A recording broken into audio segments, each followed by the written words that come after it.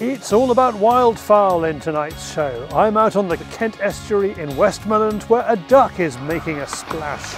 Me and my missus, we both live off game. So that can be from like pheasant meatballs to goose meatballs to burgers, lasagna. News editor Ben O'Rourke goes to Orkney to find out how greylags have become an agricultural menace and what the RSPB is doing to solve the problem. Answer, nothing.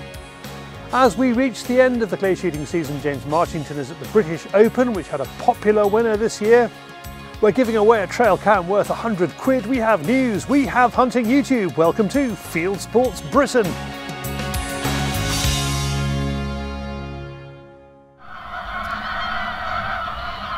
That is a sound to stir your heart.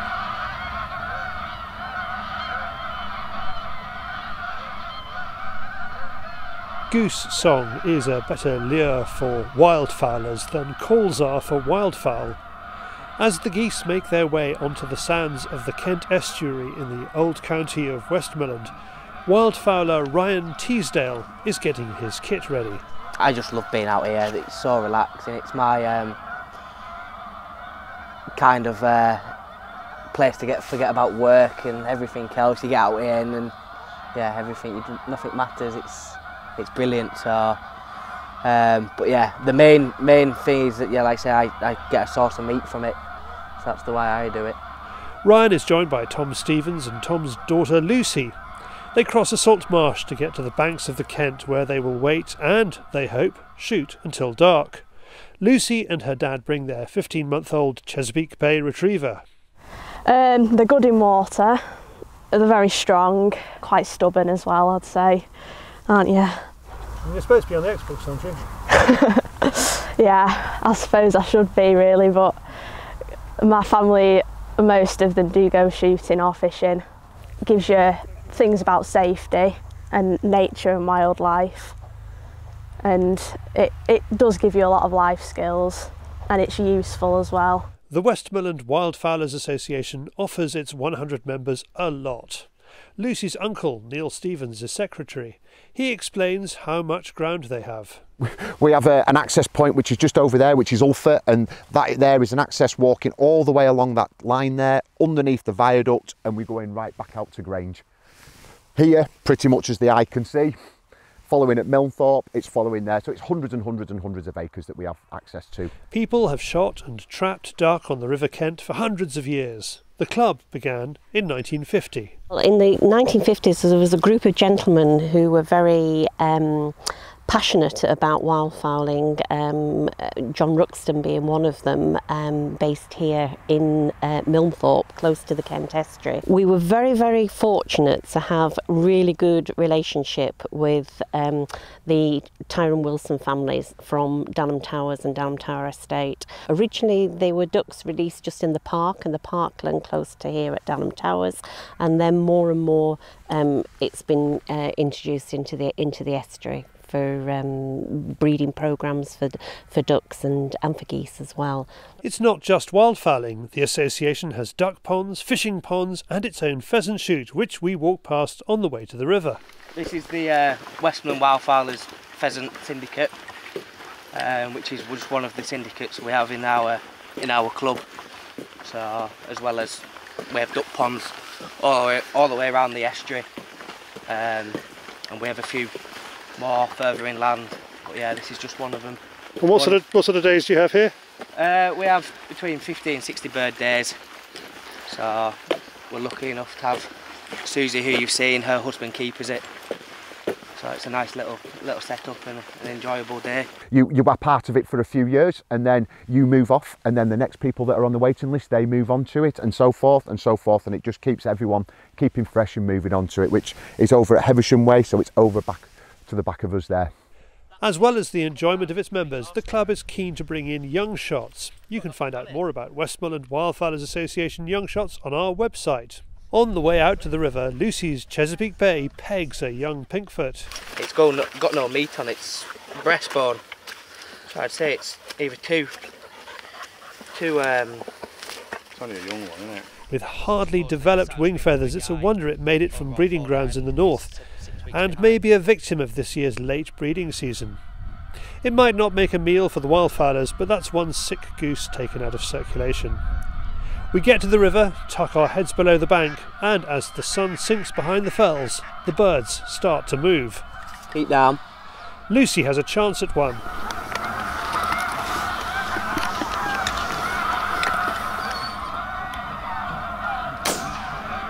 She misses, and Ryan misses too. Another pair of mallard go over, and it's the same story. Then another goes over, and Ryan makes sure. Over, Lucy.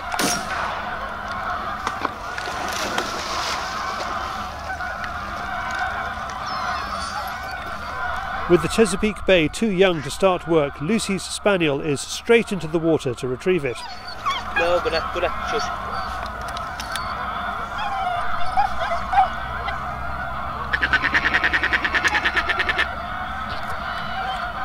When it comes to shooting, wildfowlers often have to be contortionists. The sandy banks of the River Kent are comfortable compared to many marshes, but still require you to shoot from a sitting position.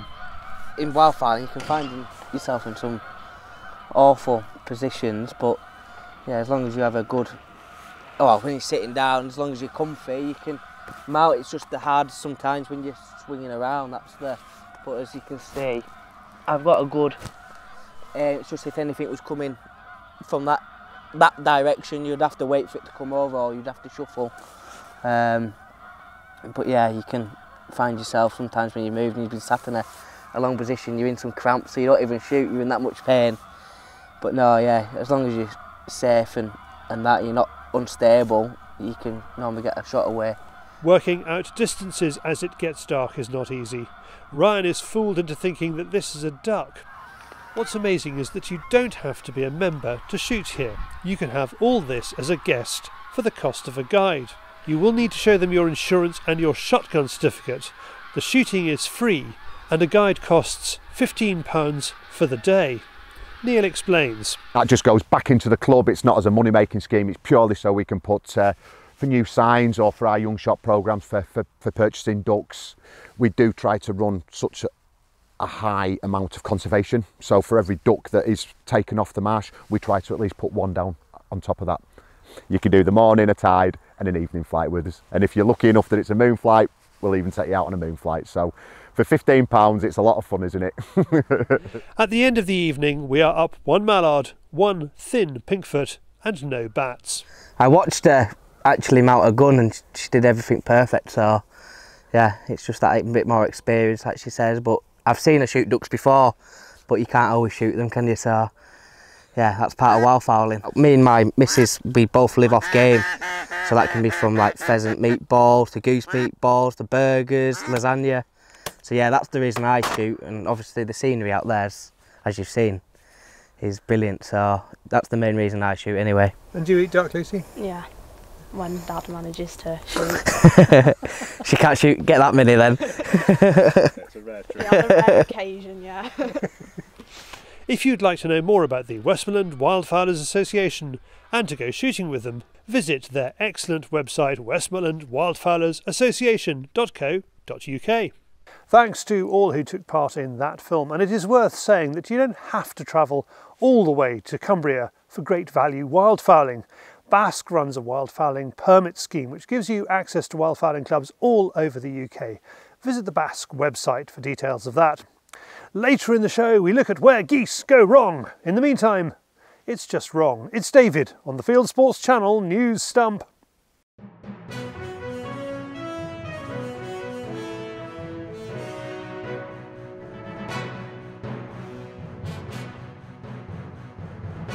This is Field Sports Channel News. Thieves are targeting gun owners and police say a link with the Guntrader leak cannot be ruled out. A Newton-on-Trent home was burgled on Bank Holiday Monday and guns taken. Police say thieves grabbed a shotgun, air rifle ammo and jewellery. Another Field Sports Channel viewer reports receiving phone calls from men offering to buy his guns. Police took this seriously enough to deploy an armed response team to guard the man's house for four days. A new statement from Guntrader says that using the stolen data to identify the potential locations of guns is a criminal offence and is unlikely to occur. Some National Trust members want to ban trail hunting on its land. Supported by Chris Packham, they want members to vote on a ban at the National Trust's October AGM. Meanwhile, members are complaining that the National Trust neglects properties vital to the UK's heritage, despite a rise in donations since coronavirus lockdowns began. It's also fired numerous volunteers who donated their time to educating visitors. It laid off 2,000 staff last year, while cash reserves rose to £400 million. According to The Times, critics want the Trust to preserve history for future generations, based on its founding principles and not short lived blinkered wokeness. The anti-trail hunting vote is delayed from last year. There's a new deer stalking qualification. County Deer Stalking, a hunting guide in southeast England, has launched the Proficient Deer Stalker Level 1, PDS1, in competition with the existing DSC1, and two of the UK's leading land-based awarding bodies, Lantra and UK Rural Skills, have awarded the PDS1 accreditation. More than 30,000 people have passed the DSC1. County Deer Stalking plans to roll out the PDS1 throughout the UK with a series of approved verifiers, making it an alternative to the DSC1. Animal rights extremists have hailed the halting of a shoot on a hill 70 years late. In its latest attempt to mislead the public, Wild Moors, led by Luke Steele, posted on social media that a former grouse moor near Bury, near Manchester, is being transformed into a giant carbon sponge to save the planet. As one Instagram user pointed out, Holcombe Moor has not seen shooting since the Second World War. The critic's post was deleted. Wild Moors also celebrated the Woodland Trust buying Snaysholme, 500 acres of grazing in the Yorkshire Dales, which it plans to cover in trees. Birds of prey numbers in North Yorkshire are booming. That's the conclusion of data from the North York Moors, which shows that raptor populations on grouse moors increased for the third year in a row. According to a report by the Moorland Association, Spaunton Estate spotted 1,552 raptors in its annual count, twice as many as 2018. The most common species is buzzard, seen 726 times during the year. Spaunton's George Winn-Darley calls it another encouraging year, especially with sightings of a white-tailed eagle and a boost in barn owl numbers. Pet napping is to be a new criminal offence in England. Pet thefts, particularly dogs, spiked during lockdown, but pets are treated as ordinary property by the law. Now ministers want a new law to acknowledge emotional distress that pet theft can cause. The proposal is one of the recommendations made by a pet theft task force set up to deal with the grim trend. It says 2,000 dogs were reported stolen last year and they made up to 70% of pet abductions. Dog prices also tripled for certain breeds. A government-backed scheme has released a further 12 white-tailed eagles on the Isle of Wight. Previous releases by the scheme run by Forestry England and the Roy Dennis Wildlife Foundation have seen birds range as far as Scotland, as well as killing each other. The eagles are fitted with GPS tracking devices. Sea eagles are controversial birds as they like to tuck into lambs, angering farmers. Kenya's ambassador to Namibia has been fired after he went hunting. Benjamin Langat lost his job for the anti-hunting Kenyan government after photos of him posing with a greater kudu appeared on social media. Unlike Kenya, where hunting is banned and animals survive thanks to the state-run Kenyan Wildlife Service, Namibia has a vibrant hunting industry that funds conservation. An Argentinian airline has banned hunting trophies. Aerolíneas Argentinas says it will no longer carry animal parts related to hunting on domestic and international flights. The airline claims the move will protect wildlife. The airline thought up the ban after animal rights group Humane Society International put Argentina in the top 10 of trophy hunting countries. Italian politicians are blaming each other for boars invading Rome. The city's mayor is threatening legal action against a regional government for the soaring number of wild pigs straying into the city. The animals are trotting through the capital and feasting on rubbish. However, opposition politicians point out the city streets are again overflowing with trash after the mayor closed landfills to try to encourage people to recycle. It hasn't worked, and the boars are the winners. At the same time, farmers are complaining about boars destroying their crops and held a protest outside Parliament in July. A social media user in the US is under fire after he posted a picture of a gator eating a drone. The video shows a drone hovering above the animal in the Everglades in Florida, Smoke pours from the reptile's mouth after it snatches and chews it. Onlookers can be heard panicking in the background. It's unclear what happened to the alligator. The video was posted on the Instagram account of Dev H. Langer, who describes herself as a travel adventurer and destination skydiver. The video has been slammed as wildlife harassment, although some, including Google's CEO, Sundar Pichai, appeared to find it amusing.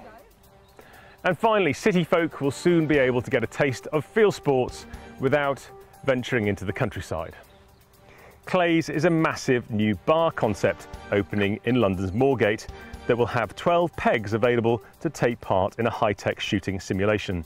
Owners are touting the game's precision and realism that make it an engaging shooting experience.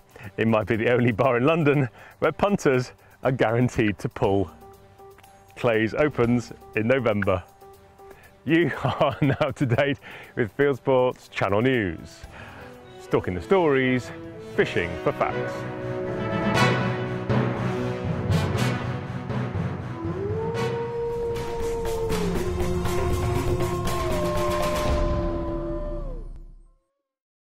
Thank you, David. I still prefer Meredith. Next up, more cutting and slashing techniques from Paul Childerley.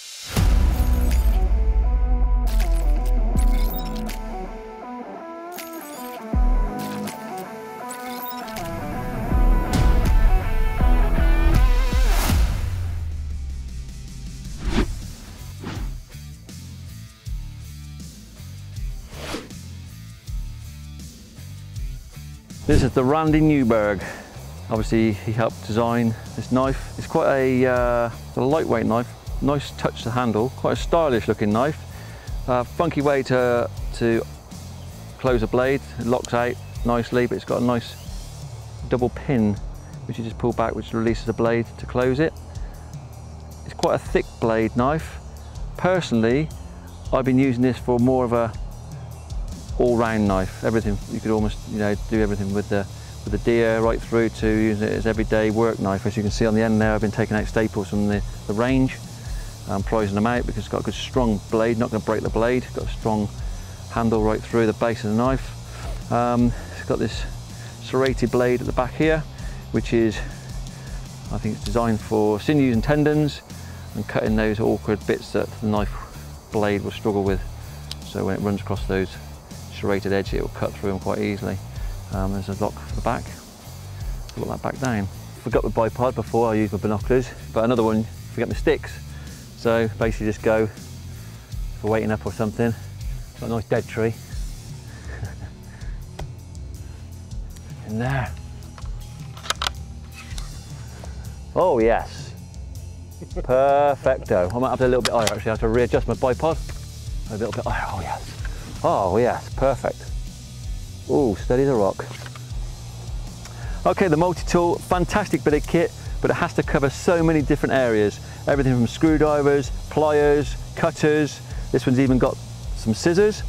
Um, so you have to accept that the blade probably is not as functional as a purpose-built knife, which is basically the blade is the uh, main object of this bit of kit. Yeah, I must admit, this, this is a bit of kit I have with me all the time. It's something, you know, you, you're walking along and you're having to repair a bit of wire or pull a staple out, you know, you've got the pliers to do that.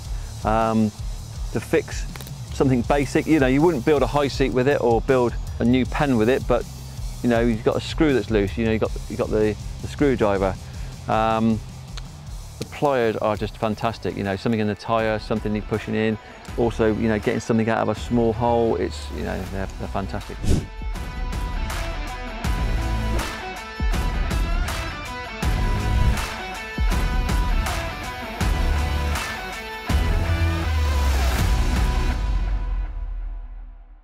Thanks, Paul. It has been a strange clay shooting season with early summer events postponed to late summer. We've just had the British Open and James Marchington went along to see who the winner is. 20 year old Brodie Woolard is the top sporting clay shot in Britain. He beat all the big names in the sport in a dazzling display of shooting at the British Open Sporting Championship, held at EJ Churchill's Swinton Shooting Ground in North Yorkshire at the weekend. The British Open is arguably the most prestigious UK title in the sporting calendar, and the one that everyone wants to win. More than 1,000 shooters have booked to shoot the qualifying course over the first four days. Top in qualifying was multiple world champion George Digweed with an amazing 116 out of 120. I was pleased with our shot this morning. We got caught in a horrible rain shower for about two stands, but there's been no wind. It's overcast all day. There's no sun issues. There's no wind issues. The targets are, are virtually perfect, and uh, I thought it was a very good round. Each day of qualifying, the top five shooters from each class, as well as the top three in each category, go through to the final, shot on the Sunday morning over a brand new 75 bird course. The top names dropped targets here and there around the course, while Brodie shot every stand straight, right through to the very last stand, where he dropped just three clays to lead the field with a fantastic 72 out of 75. That put Brodie through into the afternoon's super final against some of the biggest names in sporting clays. Brodie went into the super final just one target ahead of Mark Winser. That lead could have slipped away in an instant against a seasoned shot like Mark. But Brodie fought off the nerves and kept smashing those targets, holding his lead through to the very end.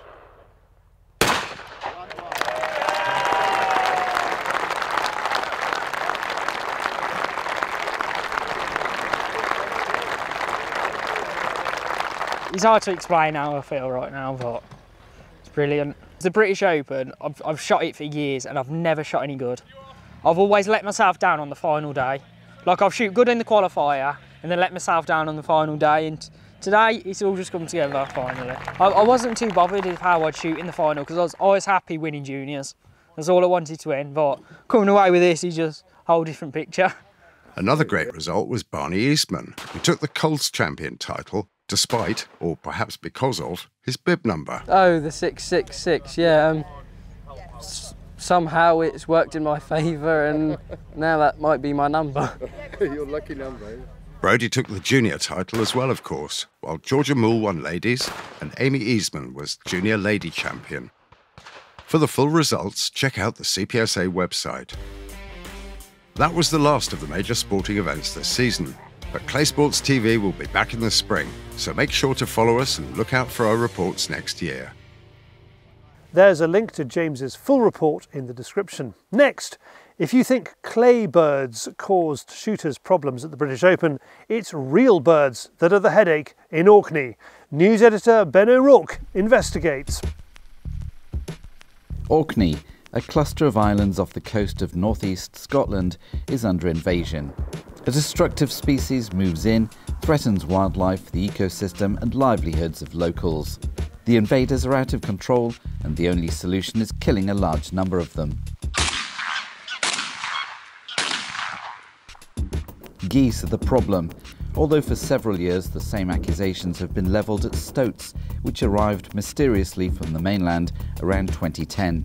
On Orkney, anti-stoat propaganda is everywhere, encouraging people to report sightings, paid for as part of multi-million pound grants to a local organisation. Thank you for calling the Orkney Native Wildlife Project. Due to the coronavirus restrictions, our office is currently closed. For urgent inquiries only, please email stoat sightings, all one word, at rspb.org.uk. The Orkney Native Wildlife Project, a partnership of the RSPB, Nature Scot, and the Orkney Islands Council, is carrying out a plan to exterminate all stoats under the lead of Sarah Sankey, the RSPB's former Orkney conservation officer. When David and Charlie caught up with her at the 2019 Bird Fair in Rutland, she admitted she didn't know how many stoats are on Orkney, insisting it doesn't matter. There could be hundreds of thousands of things. Yeah, uh, when you're dealing with an eradication, quite often it's the range that's more important than the number of stoats. So we haven't actually looked at how many stoats there are, and we know we have a lot of stoats in Orkney. There's a lot of sightings. We actually want to remove every single animal, and, and there is going to be a huge amount of skill in actually making sure that you've got rid of every single animal. So we're going to have to do a lot of monitoring for stoats. Many years ago, when I've uh, 2010, I had a conversation with some senior RSPB people about the fact that Stoats had just turned up on Orkney. And I suggested then it would be a good idea to ask the SGA, the Scottish Gamekeepers Association, who's the who's the best gamekeeper out of a job at the moment, approach him or her and say, look, we'll give you a cottage on Orkney, we'll give you a vehicle, all the kit you could possibly want, and a great big bonus when you when you catch the last stoat. The ONWP says it humanely euthanises the stoats. However, it admits the plan is based on speculation the animals might harm the island's ecology, and there is no guarantee it will work. That's after RSPB, Nature Scot, the EU Life Fund, and UK taxpayers pumped about £6 million into it. When I heard they were going to get a grant of £64,000 to um, for Stoats and Orkney, I thought, well, that sounds very cheap. Then I found out that the £64,000 was to write the plan. Now, I don't know what you could do with £6 million for conservation, but they could have they could have eradicated the Stoats on Orkney for a few hundred thousand pounds 10 years ago. They're now going to get six, essentially six million pounds, and they may or may not succeed. Unfortunately, the stoat eradication scheme was named slightly wrong because nobody in Orkney feels that they're going to manage to eradicate the stoats. They tried to map out they was going to wipe out all bird life as we know it. And as far as I can see, the biggest threat to bird life in Orkney at the moment is skuas, blackbacks, and crow type birds. They are absolutely brutal. The scene is set for a potentially expensive and never ending war on stoats. The RSPB has already complained that Nature Scot was taking too long to cough up funds for the ONWP, and farmers are refusing to allow some of the ONWP's 6,000 stoat traps on their land. Nothing in there. I've been on agri-environment schemes for nearly 25 years, so why on earth would I ever try and stop them helping the environment? But um, at the same time, it didn't look good when they got this money, a huge amount of money, and they spent it on four-wheel drive pickups and vans, brand new. I'm not going to pretend it's been easy. We did try, uh, we did trial the land access agreement with over 100 landowners, but there has been some anger uh, over the lack of money put into managing the goose, uh, the growing greylag uh, geese breeding on Orkney uh, in the summertime and that has caused uh, some problems uh, because people see this money being put into the Stoat project, uh, but then uh, obviously the, the, the, geese are causing some considerable agricultural damage. For the farmer, um, you know, we do understand that the Stoat is, is having less issues. The problem is that Stoats are not the problem, geese are. It's a case of four legs good, two legs bad, with farmers quite happy the Stoats get rid of their rats. Greylag geese, on the other hand, have been building in numbers since the 1990s to their current plague levels. We shouldn't have to lose hundreds, if not thousands, of pounds due to a bird that should not really be here at the time of year it is here.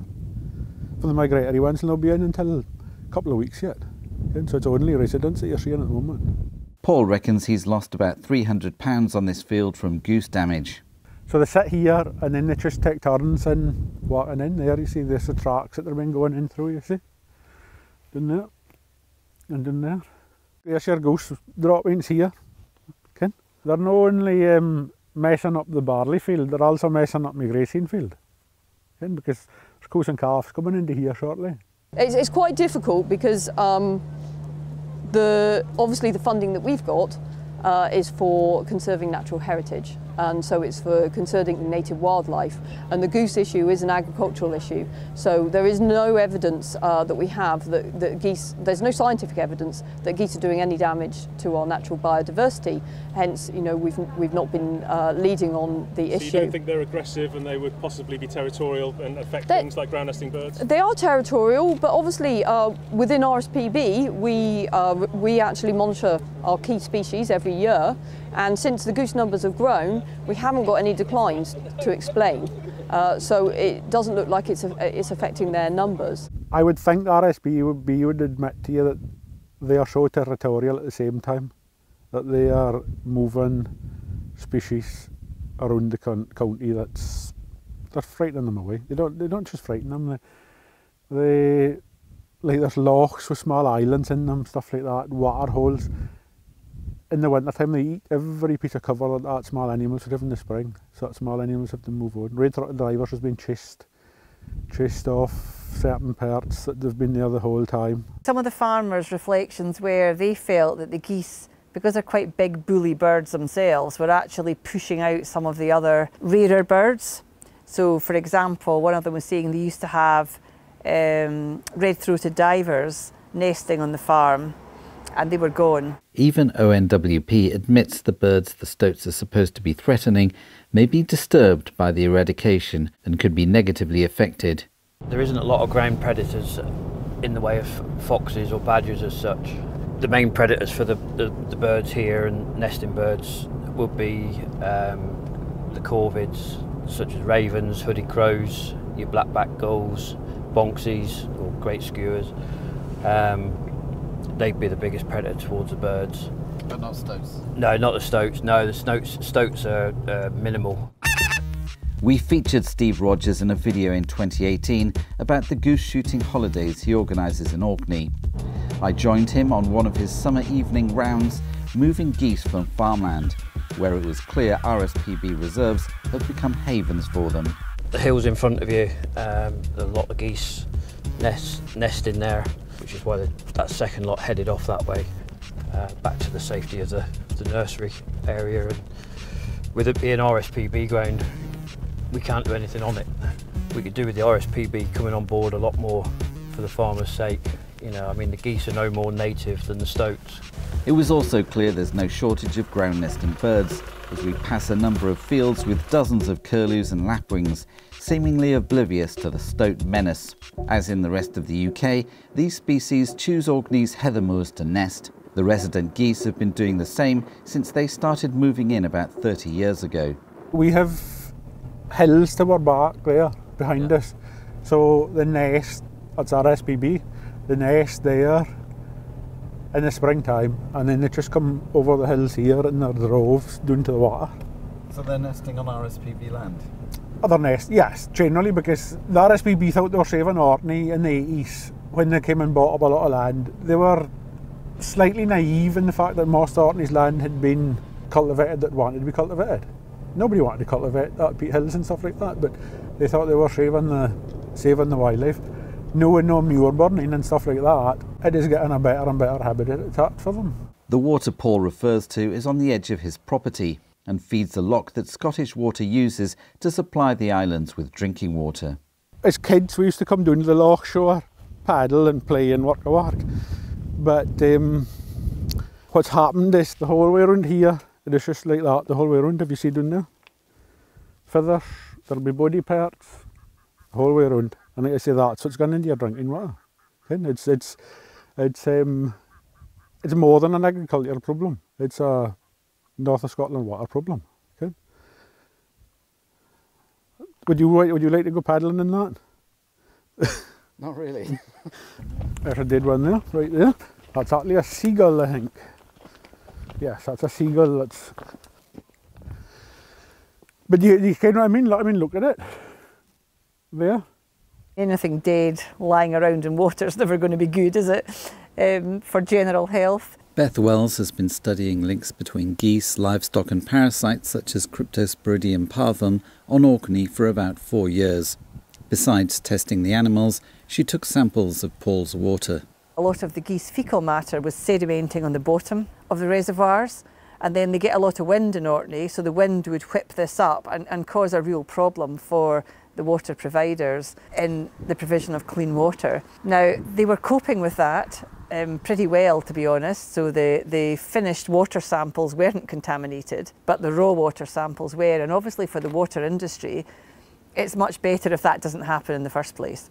Scottish Water they take for here so this is the, they're this crap with them, if you can what I mean. The Orkney farmers who are really very high quality, so high quality beef farmers, were a bit bemused at how they couldn't control this parasite or control the disease. So we were looking at um, the levels of, of parvum in, in the geese and cattle, transferring that to the water and then obviously affecting, uh, there was a public health effect. And I think too we were also helping the farmers because clearly they need to control these geese and the, the geese are protected. So getting some evidence of disease transmission was actually quite important from you know, the goose management point of view. I think the importance for the farmers is to know that they can't really put susceptible cattle out in these fields that are heavily, heavily grazed by geese. It's all about density. If you get a lot of anything, you'll get a lot of disease. I think I can't look backwards. All I can do is look forwards and say that we've got a new goose group. It's different to the adaptive management group that was happening uh, previously, and funding has been committed already for the first year to reduce goose numbers. That was two years ago. The goose group and the funding have not yet emerged. Steve and other shooters on Orkney are still patrolling the islands daily, scaring away or shooting geese to protect this small corner of the UK food supply. As is becoming more and more often in the UK, shooters are doing the conservation work and the RSPB is claiming the cash. Twice a day, first light when they come in for morning feed, um, and again evening. You can get to the farm and, and, see nothing, but you've got to check the farms just in case, because uh, you guarantee the one day that you don't will be the ones that get hammered. More RSPB madness there. And Ben could not have made that piece without the support of the Field Sports Nation, the plucky band of now 2,000 supporters who fund our news and other programming, who get their own exclusive show, Field Sports Extra, every Tuesday night, where they have the chance to enter competitions to win great prizes such as this one, a £100 Command Ops Elite Trail Cam from browningbranded.com. I had to buy some trail cams last year. I did some research and in my opinion, for my budget, Browning came out ahead of the rest. So I would call this a prize that's extra worth winning. If you want to join the Field Sports Nation, follow the link in the description below. Next up, from Scotland to the wider world of hunting and shooting on YouTube, it is Hunting YouTube.